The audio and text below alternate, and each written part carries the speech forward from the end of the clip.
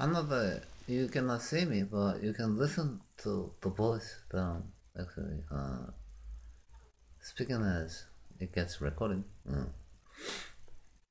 I'm actually facing this word. Mm. You're saying that you're a journalist, but I'm actually I'm getting in trouble every day because you actually like to talk about your family. Mm.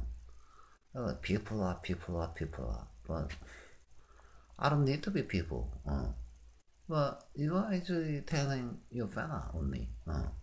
I mean, well, what has it got to do with the fucking world? Huh? Are you trying to like spread your head larger? Huh?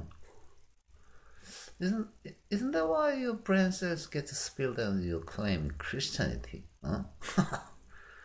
I'm just kidding. I mean, I'm I'm not that. I'm talking this way. I'm uh, making your lawyers speechless. Uh, but I mean, you you are agreeing, huh? You are agreeing to those journalists saying all the bullshit. Uh, that is one of the reasons probably you becoming like shit trashes. Uh, yeah, I'm telling you.